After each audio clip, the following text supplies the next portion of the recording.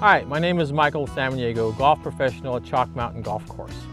Chalk Mountain Golf Course is a championship level golf course with three professional golfers, including myself.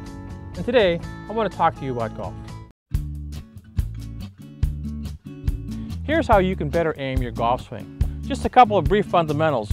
Remember, when we aim our golf swing, we aim using the leading edge of the club. The leading edge of the club and not our body. The club actually travels on an imaginary plane about a 45 degree angle that allows the club to impact the ball squarely every time we execute the golf swing.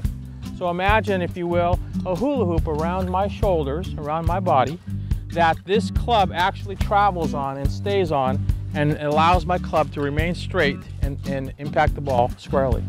So we have to remember that in order to prevent us or avoid us from slicing the ball, which has a left to right trajectory, or hooking the ball, which has a right to left trajectory, the club has to actually stay on plane.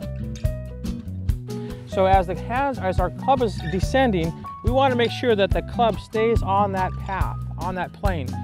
At the bottom of the golf swing, where we release our hands, we actually want to release our hands at the bottom of the swing, which rotates the club squarely back to the ball.